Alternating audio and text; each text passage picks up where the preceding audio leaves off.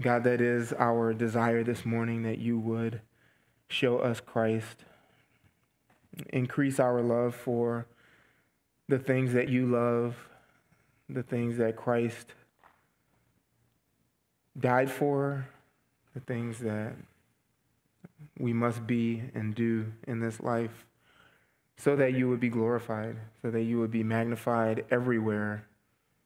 Give us uh, greater burdens to see the gospel go forth, that we would be faithful to you wherever we go, so that you receive all the glory. We pray in Christ's name. Amen. You may be seated.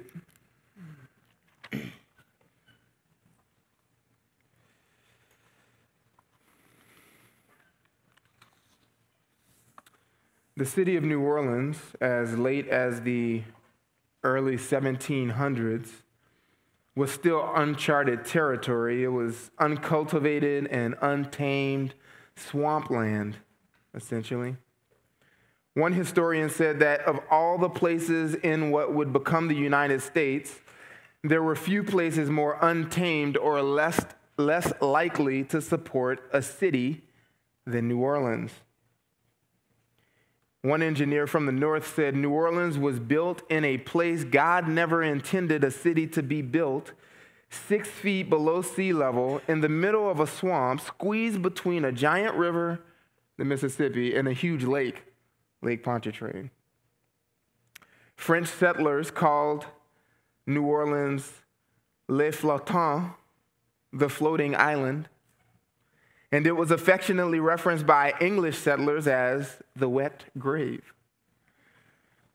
Obviously, it was difficult to get French settlers, French citizens, to populate this new territory occupied by France. And so, by between 1717 and 1721, the French government increased the population of New Orleans from 400 to 8,000 through forced immigration. They essentially took the lowlifes of France, put them on boats, and made them sail to the new, the new city of New Orleans. One priest residing in New Orleans said of these immigrants, they are miserable wretches driven from France for real or supposed crimes. They considered the new country a place of exile and had no interest in progress of a colony of which they are only members in spite of themselves. Even the founder of New Orleans, Jean Baptiste Le Moyne Sieur de Bienville, he told the French government, quote, all I have is a band of deserters, smugglers, and scoundrels. After which the French government, uh, French regent Philippe he put an end to the quote, deportation of criminals and undesirables to Louisiana. It's interesting to note that this same city that was initially populated with criminals has been up to this very day consistently in the top 10 most dangerous cities in the United States. That is depending on how you count the numbers, though. Sometimes it's like 32 or something so it, it can get better. Um, it's almost as if New Orleans, though, can't outlive uh, its origin. And so it's interesting to consider what hope is there for such a city as this, a city that, according to some, should have never been settled in the first place and that has been populated to some degree or other by criminals ever since. What would it take to see a city like that truly changed? What would it take to witness even large scale change by the power of the gospel and the grace of God in a city like New Orleans? Uh, the answers to these questions is surprisingly simple, maybe unsurprisingly simple, and Scripture gives them to us. And so I want you to see this this morning. Go to Acts chapter 17, and we'll actually have an answer to these questions. What would it take to see large scale change, genuine revival in a hopeless city.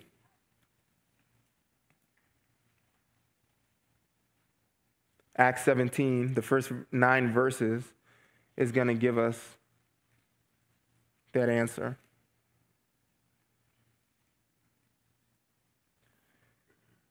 Luke writes Now, when they had traveled through Amphipolis and Apollonia, they came to Thessalonica, where there was a synagogue of the Jews.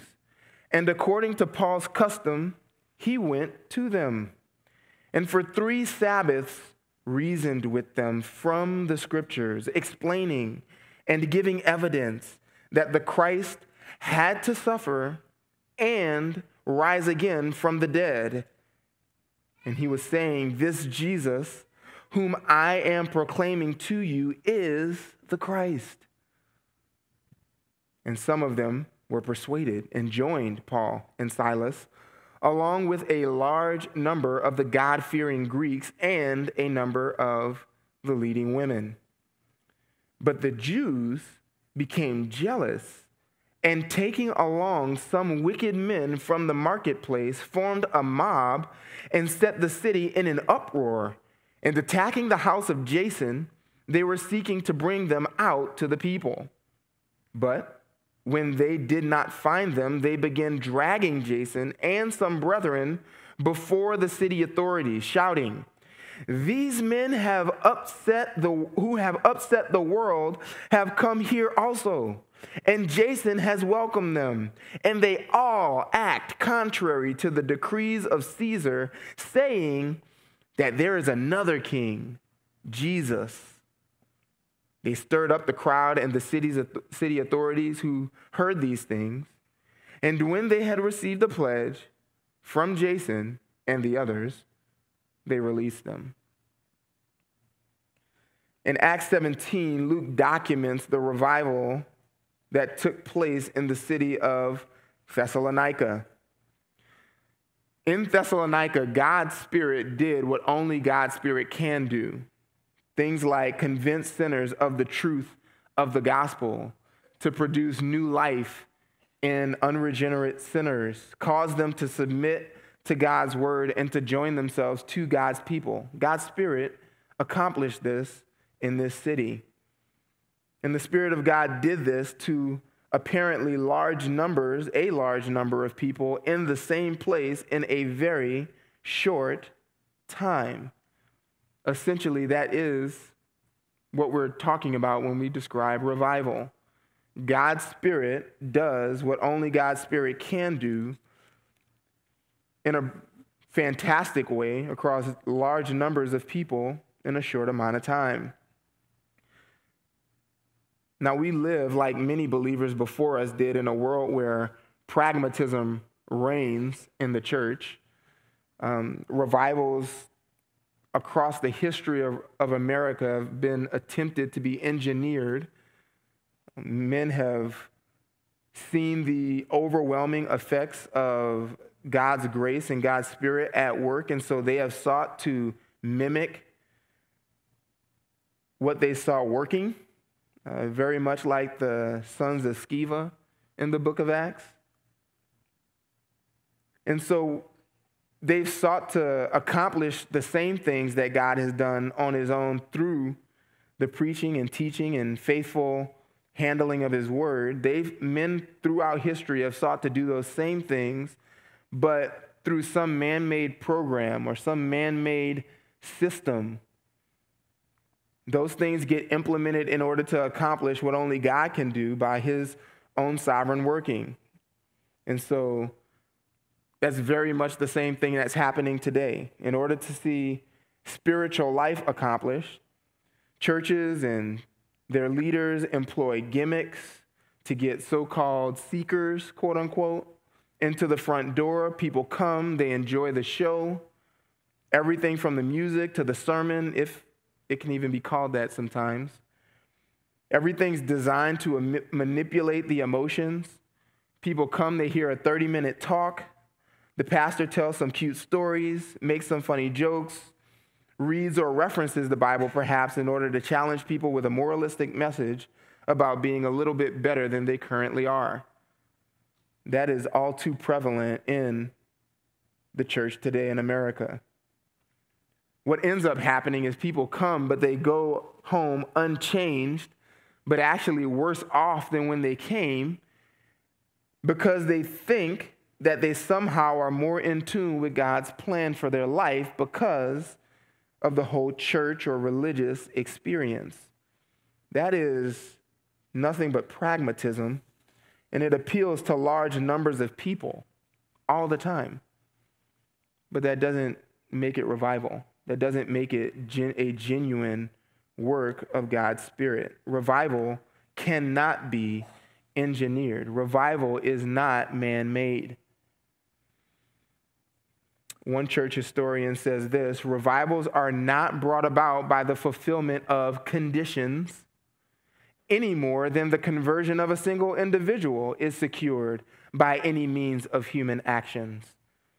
The special seasons of mercy are determined in heaven. Though revivals are not man made, we can't determine by putting a date on a calendar, by scheduling a conference or a series of sermons and calling it a revival. We cannot determine that revival takes place. And so, although they're not man made in this way, there are some things that are required for revival to take place. If God is going to cause large scale conversions and submission to his word and grow his church in a unique way in a certain place, there are some prescribed means that he has determined that he loves to use to accomplish that kind of unique work.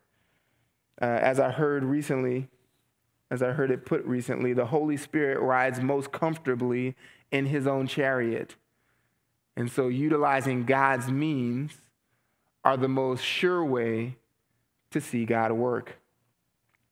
In Acts 17, this passage tells us under what conditions the Spirit worked best in Thessalonica. It essentially gives us four requirements for revival. These do not promise that revival take place, but these are requirements wherever we would see large scale change. And so, four requirements for revival is our outline for this sermon. The first of these requirements is faithful evangelists must go. Faithful evangelists must go. Verses 1 through 3 in Acts 17 detail this happening. When they, that is Paul and Silas, had traveled through Amphipolis and Apollonia, they came to Thessalonica, where there was a synagogue of the Jews. How did Paul and Silas get all the way to this city of Thessalonica? Well, they came from first a well established church, and they were specifically targeting or going to Christless places. They were coming from well-established church, uh, a well-established church and going to a Christless place. Just flip back to Acts 13. You see the beginning specifically of Paul's journeys. We can often uh, wrongly think of Paul launching out as if he is rogue. Of course, he is an apostle, so he has Christ's own authority given to him to do what he's doing as an apostle. He's the one writing to the churches and commanding churches, instructing churches what to do under Christ's instruction. And so it's easy to think of Paul sort of above the church, but that would actually be wrong thinking. Even though he instructs the church, he is also a man submitted to the church in a unique way as a missionary. And Acts 13 shows us that. Look at verse 1. Now, there were at Antioch in the church there, that was there prophets and teachers, and it lists them Barnabas and Simeon, who was called Niger, and Lucius of Cyrene, and Manaen, who had been brought up with Herod the Tetrarch, and Saul, that is Paul. While they were ministering to the Lord and fasting, the Holy Spirit said, Set apart for me Barnabas and Saul for the work to which I have called them. So, of all the teachers and prophets in this church, the Spirit specifically communicated in the only way that the Holy Spirit ever communicates, that is, with words, this to the church two men, Barnabas and Saul, to be set apart, specifically distinguished aside for everyone, from everyone else for a specific work. So, this is what the church did in verse 3. Then, when they had fasted and prayed and laid their hands on them, they did what? Sent them away. This is how Paul eventually gets to Thessalonica. He is commissioned by the Holy Spirit and the church for a specific task that he would go and labor in the ways that we see detailed throughout the book of Acts and Paul's ministry. And so from verse uh, or from chapter 13, they launch out on the first missionary journey. Notice in verse 4, being sent out by the Holy Spirit. Verse 3 just said, they, that is the church, sent them away. Verse 4 says they were sent out by the Holy Spirit. Did the church send them or did the Spirit send them? And the answer is yes. They went down to the places listed and began their ministry.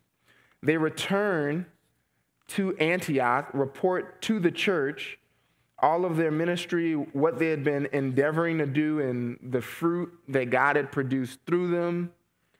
They spend a time at Antioch with that initial sending church again. And then in Acts 15, you can turn there. After this sharp disagreement now between the ministry partners, Paul and Barnabas, Paul launches out again, but not with Barnabas. Barnabas sailed away with Mark. But verse 40 in Acts 15 says, Paul chose Silas and left, being committed by the brethren to the grace of the Lord. And he was traveling through Syria and Cilicia, strengthening the churches. So this begins the second missionary journey of Paul. On that second missionary journey, they eventually land in Philippi in Acts 16.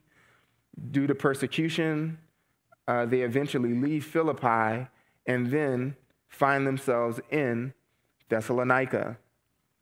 And so faithful evangelists must go. Paul and Silas and their companions were those faithful evangelists. They must go, which means they must be sent. The church sends missionaries. If you've been around Grace Bible Church for very long, this is not new to you, but it is worth repeating. The church sends missionaries, the church plants churches. Parachurch organizations do not do this. They are not qualified, they don't possess the authority given by God to do this. Individuals do not, on their own authority, determine when or how churches get planted. The church does this work. The Spirit by the church does this.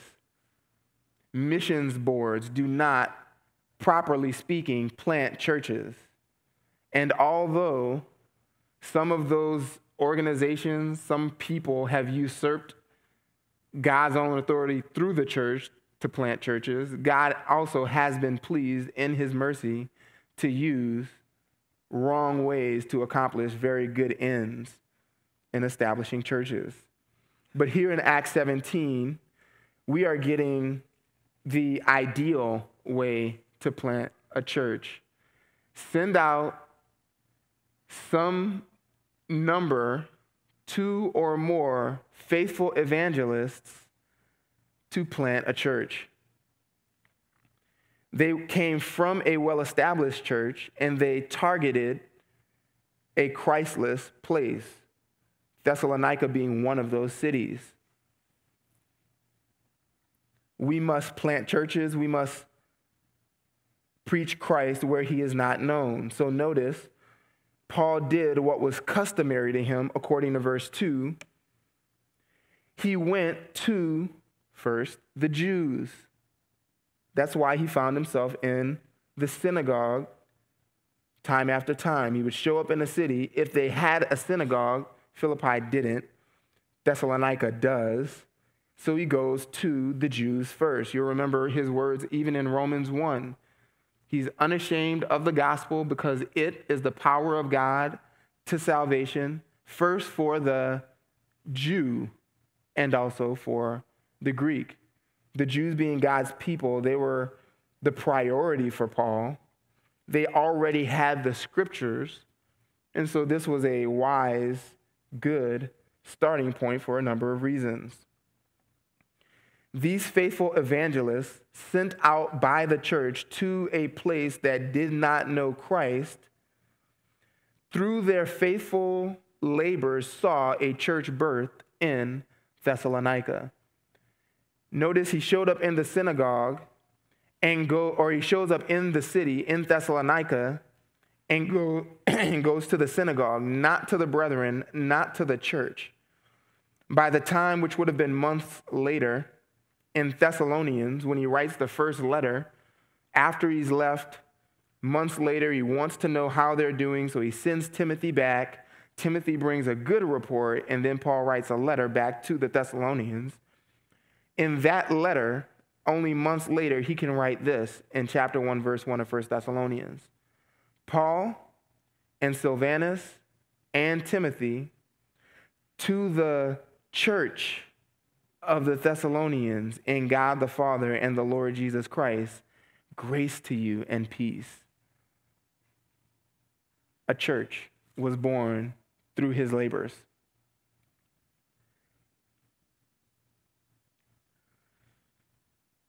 For us, this might be old ground to be covered. It is old ground to highlight that faithful evangelists must go to a place that does not know Christ so that he, they make him known. Would it surprise you that this is not often how it happens? Oftentimes, far too often, the way missionaries get sent is people are discontent with the church or their church situation here. And so they go try and start their own work because they don't want to submit to anyone else. They, they can't find a church that's suitable to their preferences, and so they find themselves in a new place trying to start a church. Or someone who's not passionate about the gospel here, doesn't preach the gospel here, doesn't have a zeal to make Christ known here where they are. They're, they've never talked to their neighbors, their coworkers, their friends, their family about Christ but they're being sent off to go do that very thing somewhere on the other side of the world, somewhere. That's not the way it ought to be done. People who are already zealous for God's glory to make God's glory known through an articulation of the gospel and unbelievers' submission to Christ's lordship, those are the people that you want to send other places to spread the gospel, to plant a church. And this is what Paul and Silas were eager to do. Notice in verse 3 that from the scriptures, they explained and gave evidence that Christ had to suffer and rise again from the dead. They were saying, This Jesus, whom I am proclaiming to you, is the Christ. That was their message in a nutshell. Did they say more? Of course they did. This was the gist of the message that they brought to the Thessalonians. What that means for us, specifically as we um, target New Orleans, is that the people going must be faithful evangelists. People who are already eager for the gospel, eager to preach the gospel here, must be the people who go. People who are not eager to preach the gospel here can stay home. We must learn here what we must do there. It also implies, just thinking about Antioch, Antioch actually historically became known for sound hermeneutical principles, how one studies and uh, interprets the scriptures. Antioch became uh, a leader among churches for that. They come up oftentimes during, uh, during church history. They were known for these things. This was a well established church. Uh, just to, to think about the parallel here, these missionaries being sent out into a Christless place, uh, really, this implies that Grace Bible Church here in Tempe must be a well established church. To send faithful evangelists cannot be a crippling endeavor for Grace Bible Church. All the evangelists can't leave here and go to New Orleans, in other words. The people who remain must be faithful evangelists still to raise up more faithful evangelists to go somewhere else. That still has to continue, that still has to happen. This must be a well established church, even in the midst of church planting. The way we've uh, decided what we believe is wise is not to send out two men or even two people in their families to accomplish this. The way that we've uh, determined to do this is with a team of faithful evangelists husbands, wives, children, uh, a, a widow, a couple single ladies, perhaps somewhere between eight and 10 households to go and do this work so that when we get to New Orleans, we are already on the same page as far as doctrine is concerned. We have the same idea in mind when we think about how are we going to reach New Orleans. And should God start saving someone, saving groups of people day one when we get to New Orleans, then we have something already being modeled between the core team for those people to come into so that when they step into these eight to 10 households, sound ecclesiology, biblical life as a church is already happening, being modeled for them. It's something worthy of imitation. That's how we want to do this. Um, people have asked, what's the timeline? And I've given like pretty much the same answer over and over and over again. It's always two years. Technically, it's about if if things go according to plan, it's no longer than about 21 months before we can do this. Lord willing, it, it would even be sooner. But this is what we have in mind. Uh, recently, this same core team took a trip to New Orleans uh, a couple weeks back and we got to meet with multiple church planters and spend time together, seeing the city, multiple people, multiple families. It was their first time in the city. On this trip, we, we actually put together that of five churches that currently exist in the city one in Gentilly, one in Algiers, one outside the city on the north shore of Lake Pontchartrain in Mandeville, another uptown, um, and then another in the city as well. Between these five churches, they were all planted within about 18 months of each other in 2014 to 2016. None of them ended up in New Orleans East, which is where we desire to go. So, New Orleans East, East for uh, all intensive purposes, is still still has an unreached people group, if you will. Uh, churches that are coming with our convictions, with uh, our same doctrine and idea of shepherding, the things that you enjoy here at Grace Bible Church does not exist in New Orleans East, with over 90,000 souls who need to hear the gospel. I want you to notice just one other thing from, from this passage. Everything that happened that we, we've already read about in these first nine verses in Thessalonica, just look again at verse 4. Because what happened is some of the Jews were persuaded and joined Paul and Silas along with large numbers of the God fearing Greeks and a number of the leading women. That depiction of revival in Thessalonica, all of it happened through faithful evangelists. None of it happened through social efforts, through social programs. None of it happened through legislation. None of it. All of it was through the faithful articulation and proclamation of the gospel if you had to see wide scale change in a city, how would you accomplish it? What would you go with?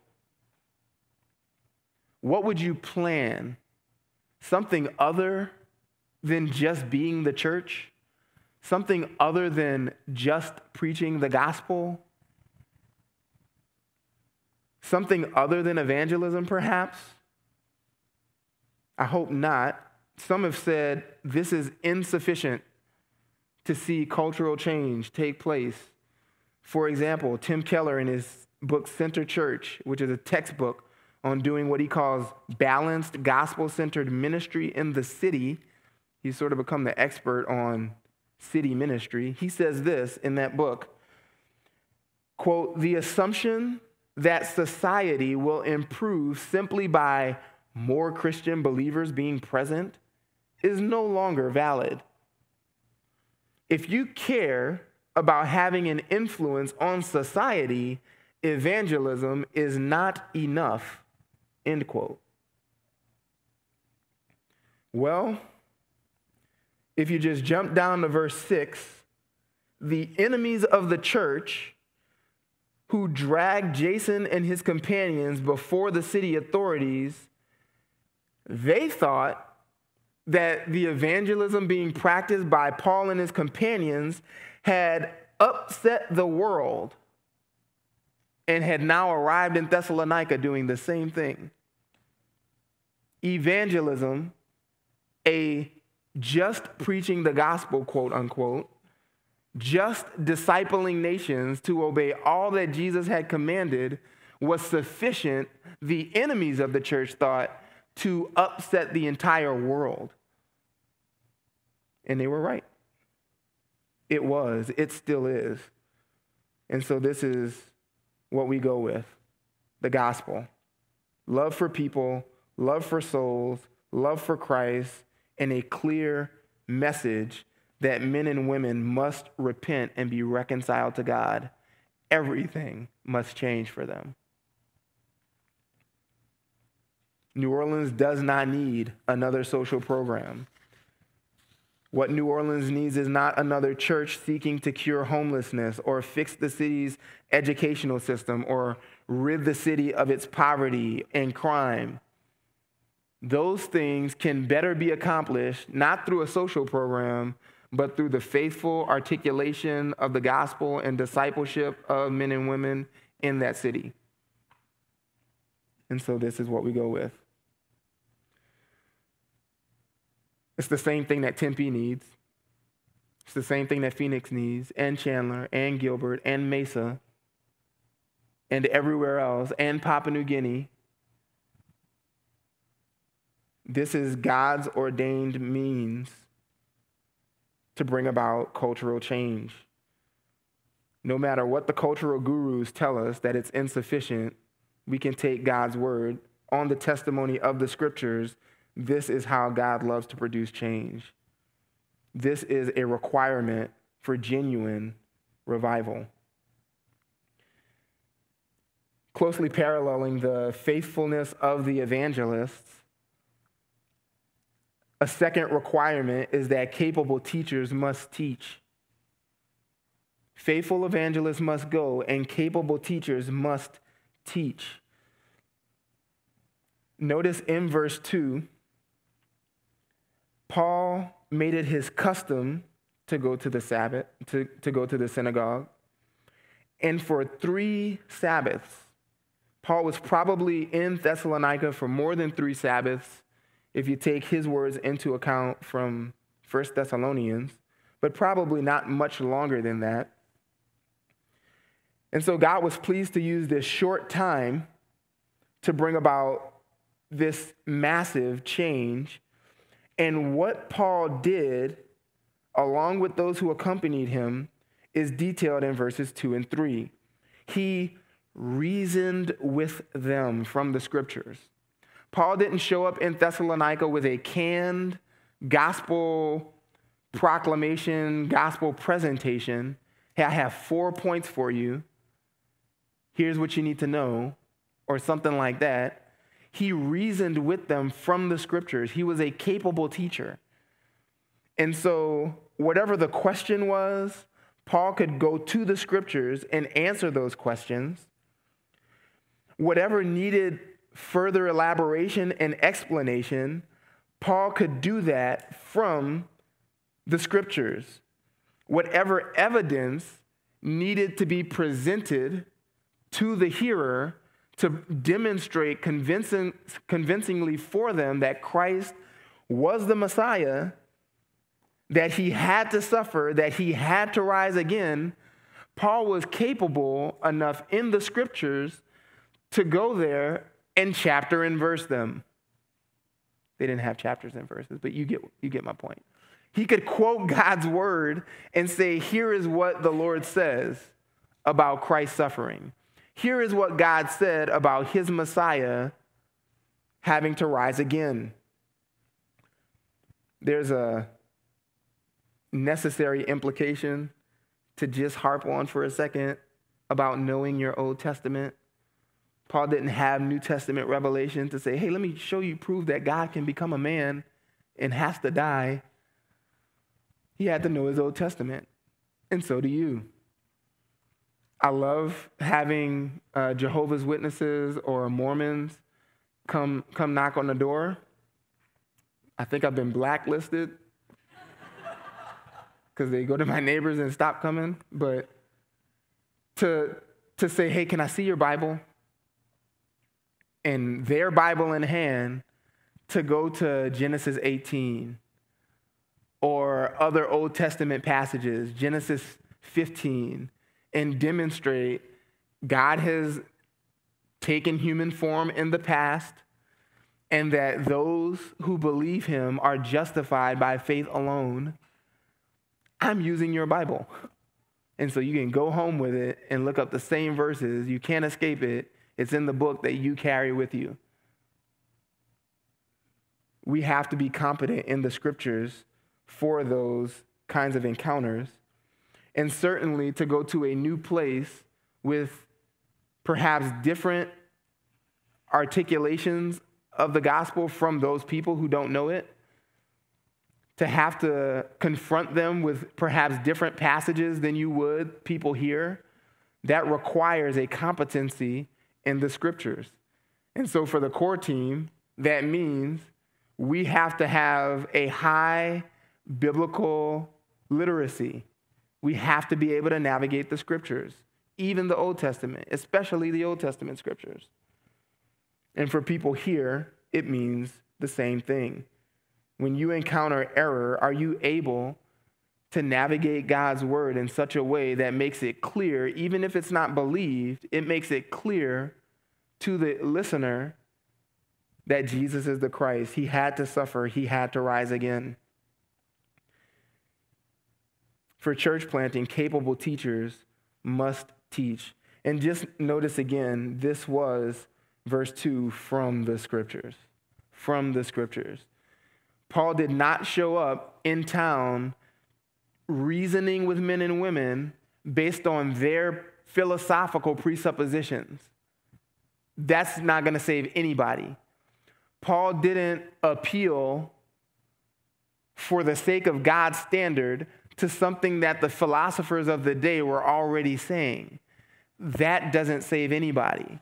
that doesn't make the gospel more palatable to anyone. It just gives them a reason to believe God on wrong motives from their own wisdom. And anyone who thinks they're believing God from their own wisdom is not believing God. They're believing a God of their own understanding. And so Paul reasoned from the scriptures.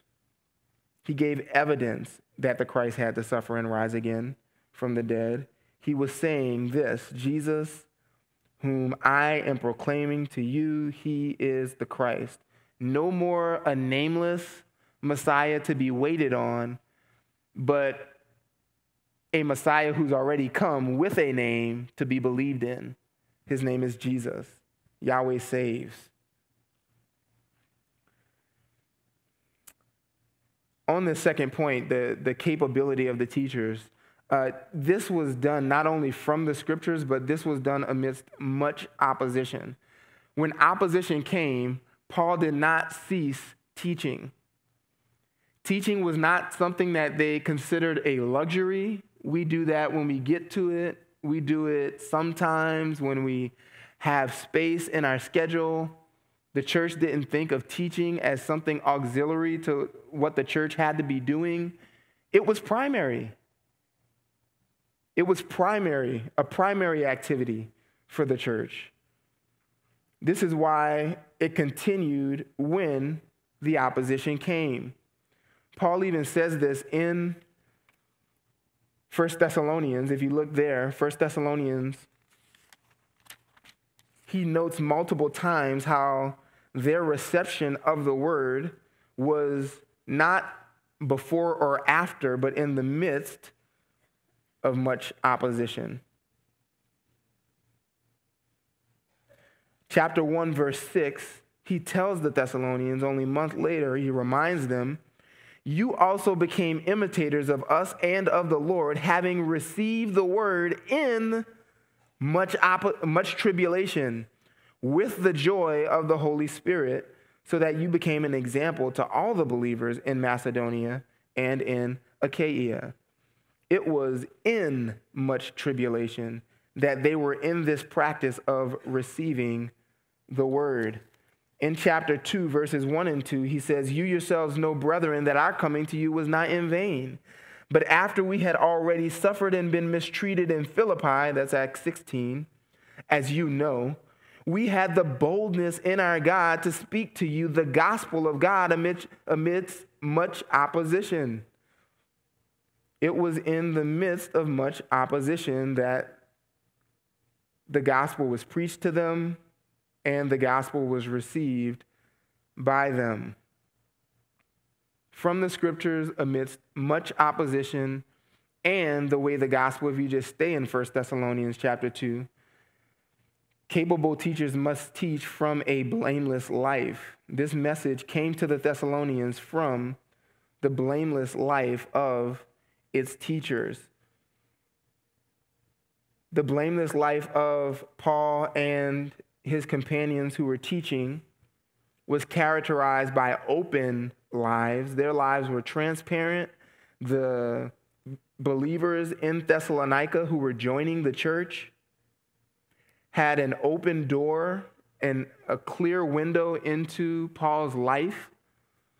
Just look again at chapter 2 in 1 Thessalonians, verse uh, 2, or verse 1 rather. He can tell them you yourselves know, brethren. You yourselves know this. In verse 2, as you know, we had the boldness in our God to speak to you the gospel. They know these things because they were close enough to witness them. Jump down to verse 5. For we never came with flattering speech, as you know. Verse 9 For you recall, brethren, that our labor and hardship, or our labor and hardship, how working night and day, so as not to be a burden to any of you, we did this, proclaimed to you the gospel of God. They were familiar with Paul's work ethic because they were close enough to see him working. Verse 10 You are witnesses, and so is God, how devoutly and uprightly and blamelessly we behaved toward you believers. And then again in verse 11, just as you know how we were exhorting and encouraging and imploring each one of you as a father with his own children. The blameless life of Paul and his companions were so intertwined with the Thessalonian believers that he could say multiple times, You know, you know, you know, you're witnesses. Don't you remember?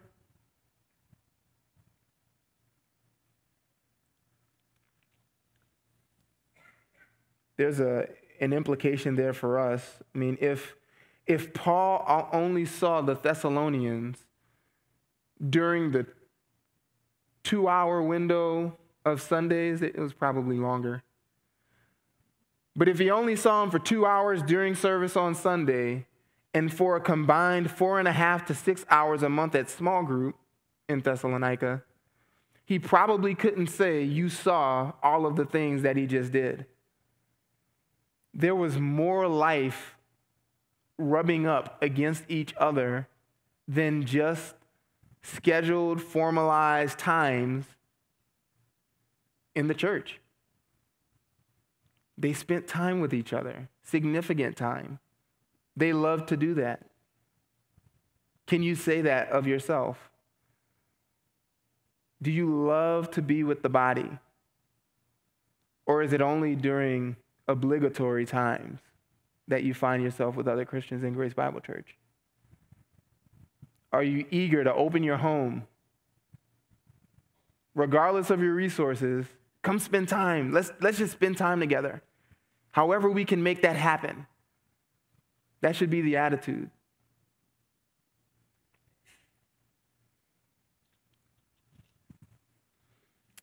These capable teachers not only had uh, blameless lives that included open lives, but if we were to read the rest of First Thessalonians 2, all of First Thessalonians 2, verses 1 to 12, we would see open lives, unmixed motives. We would see that the blameless life was characterized by God's approval and a fear of God. Paul was most mindful of pleasing the Lord in his ministry, not even the people whom he loved, whom he was serving. He cared more about what God thought. And so, knowing that God was pleased, that was sufficient. The blameless life of, of these men was characterized by genuine speech, tender care, sacrificial love, tireless service, and constant instruction. To think of the three Sabbaths that Paul, or Luke rather, recorded in Acts, and probably a little bit more time that he wasn't in the synagogue specifically, but building up and training the church before he got run out of town by the persecutors in that short amount of time, you just read 1st and 2nd Thessalonians and you get a glimpse of how much instruction must have happened in that time that he was in the city. This church was clear on the gospel. They knew about Christ's suffering. They knew about Christ's resurrection. And they could articulate it for you so well that he says in chapter one, the word had resounded forth, the word had gone forth from that church. They had so reformed their lives that they had become an example in their living and in their missionary endeavors as a young church to the churches in the surrounding region.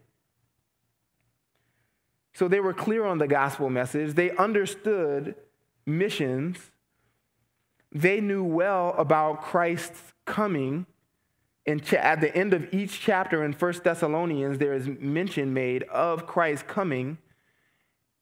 And in each of those, Paul is merely telling them of what they already know, except for the exception in uh, specifically in some details in chapter 4. They don't know what happens to brethren who have died in Christ.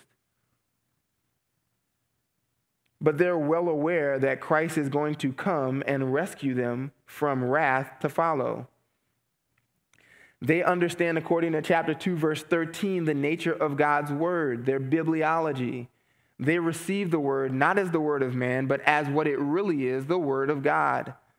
And so they treated God's word when it came through these evangelists as God's very word. They understood inspiration. How to endure persecution is something else they understood because Paul writes back and commends them he even says in chapter 3, verse 4 of 1 Thessalonians, when we were with you, we kept telling you in advance that we were going to suffer persecution or affliction.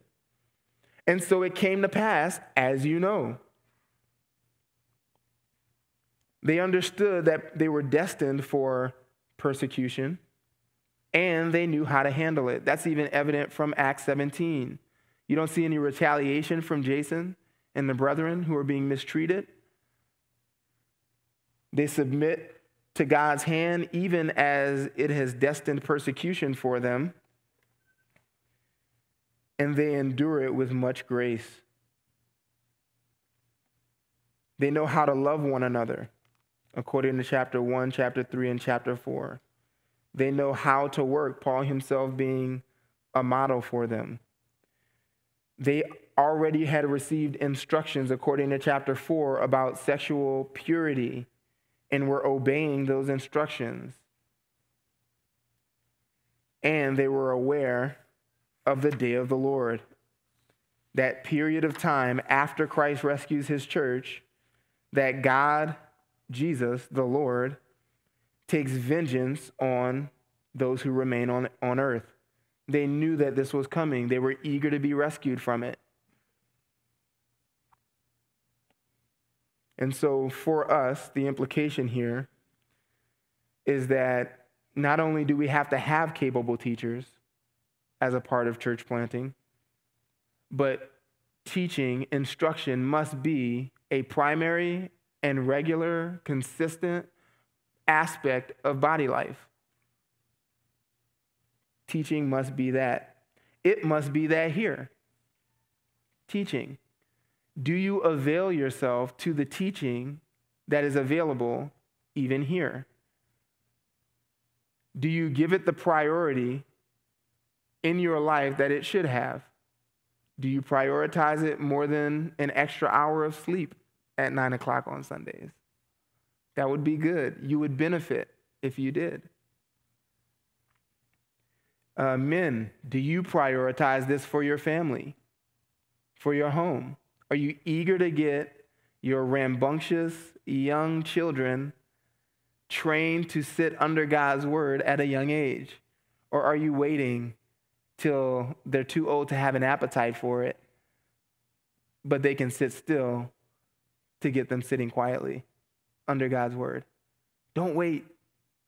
Do that now. If you need to practice at home, practice at home. But we're going on Sunday and you need to be able to sit still, sit quietly.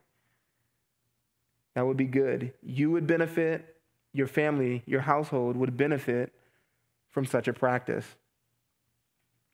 You can be praying for uh, the New Orleans church plant specifically that another trained man would join this work. I'm currently in uh, in conversation with uh, a number of men within the Expositor Seminary network, putting this on their radar, uh, testing desire, ministry, like mindedness. And so I'm in those conversations, but you can pray for that. Uh, if I had my way, Kyle Frazee would come. No pressure. We'll, we'll discern what God has for, for the Frazees soon enough. But you can be praying that capable teachers would be eager to join this work. Thirdly, a third requirement for revival is that persuaded sinners must join. Persuaded sinners must join. That's no mystery. If you don't have conversions, you don't have revival. This is what happened in Thessalonica back in Acts 17. Luke records, verse 4, and some of them were persuaded. Not everybody, not all the Jews who were in the synagogue. That would have been great. Paul has a burden that all Israel would be saved. He, he demonstrates that thoroughly in Acts 9 through 11. That day's coming. But here at this time in this city, only some of them were persuaded. But they were persuaded, praise God, and they weren't persuaded and said, Man, thank you so much for preaching the gospel. I'm going to go do my own thing and live like a rogue follower of Jesus. No, they were disciples, and it says, as those who were persuaded, they joined, were joined to Paul and Silas. Some of the Jews were, and along with them, a large number of the God fearing Greeks, that is, non Jews, and a number of leading women, prominent women in the city, also did this. This is revival taking place. That term, joined to, just means that they began to be in close association with or to be attached to Paul and Silas. The ones who were establishing the church, laboring to see the church birthed, they attached themselves to them and to one another as those who would have been brought into the church. So if God brings about revival in a place, it will not be or it will not result in lots of independent Christians doing however they see fit. It will result in a church being born. People covenanted, attached together as members, living as Christ has instructed them with one another. Anyone unwilling to closely associate himself with the church cannot also claim close association with Christ. It doesn't happen. Those who closely associate with Christ are eager to join themselves also to Christ's people. This means for us here and in New Orleans, there needs to be meaningful membership. Meaningful membership. When you join yourself to Grace Bible Church, does that really mean something? do you see yourself as one who is bound to the other members of this church? On membership Sundays, when we have people come up here and the members stand and read the covenant together, do you go, okay, I may not have met those people yet standing up front, but we're members of the same body, and everything I'm about to read applies. And so I'm committed to them. When one member suffers, we all suffer. When one rejoices, we rejoice together. And so we're going to labor for each other's good. The one another's in the New Testament, that's for me to practice with those people to whatever degree I can. And you can't practice that to the same degree with everybody. We understand, just time doesn't permit. One day we will all live in the same city and have thousands of years to live together with one another should we all see the kingdom together. That day's coming. For now, we still have to sleep and work and do normal stuff. So fellowship is inhibited. Those who join themselves to the church consider the meaningfulness of their membership. And we should. We should do that. Finally, one final requirement for revival is fourthly, genuine brothers must endure. Genuine brothers must endure.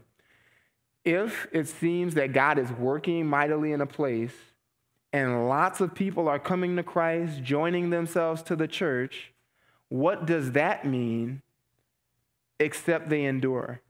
Unless they endure.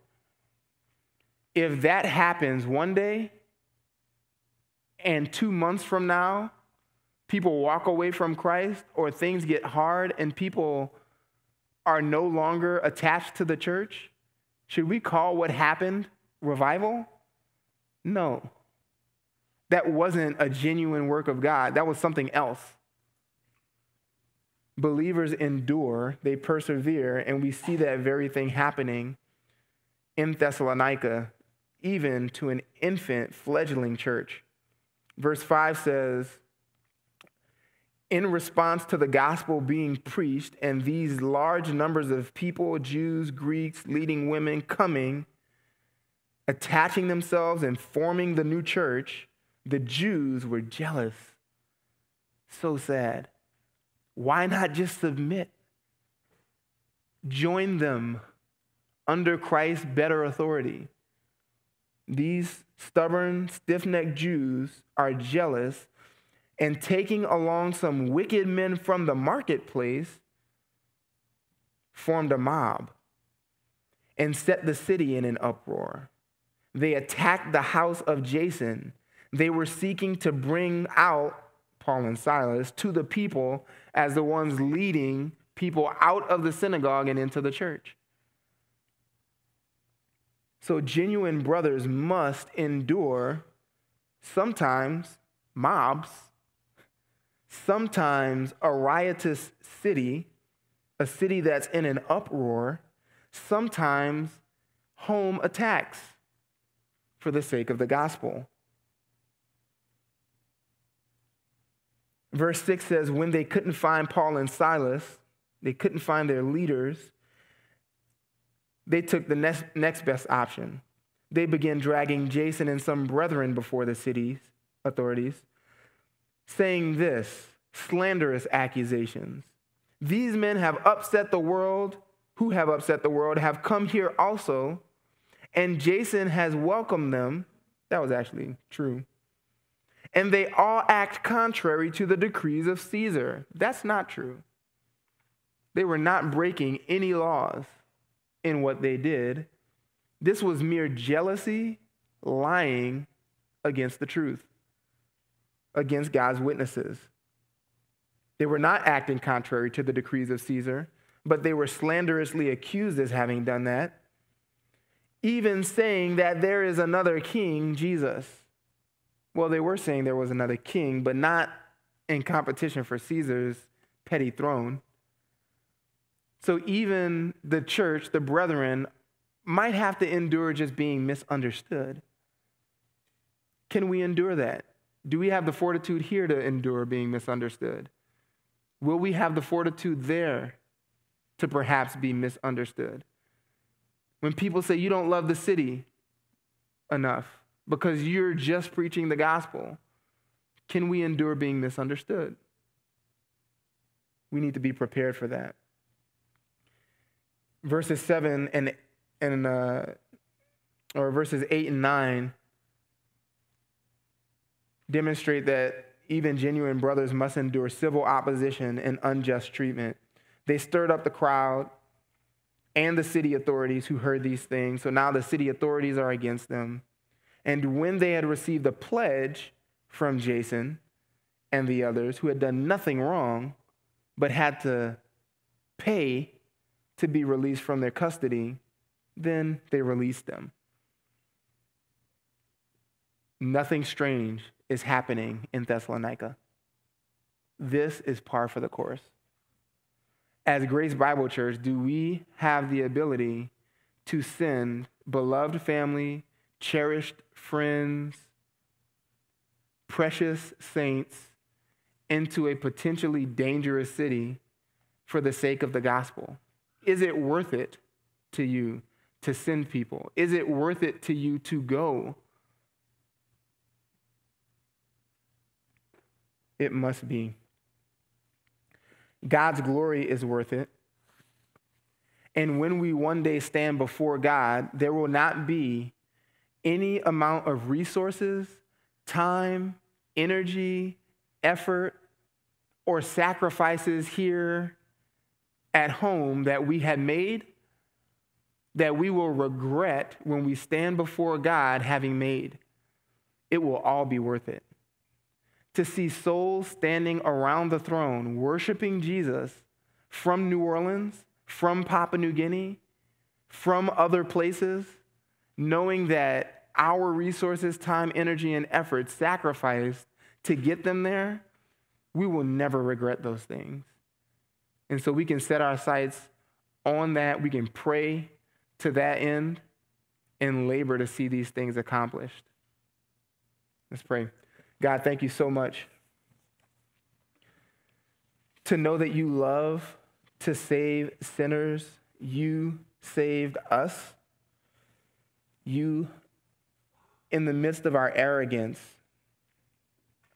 in, our, in the midst of our high handed sin against you, you chose to rescue us from your wrath, from our own folly. And you have even given us the privilege of laboring tirelessly to see the same done in your name for others. Strengthen our church to be a church planting church, to continue to be this. Even those whom we've already sent out to Gilbert Bible Church, strengthen them to labor to be a church planting church and see this work reproduced, replicated from their midst now.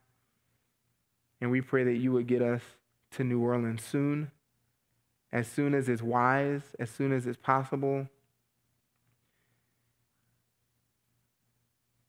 And that we would see your word flourish amongst an unbelieving city. We pray all these things in Christ's name. Amen.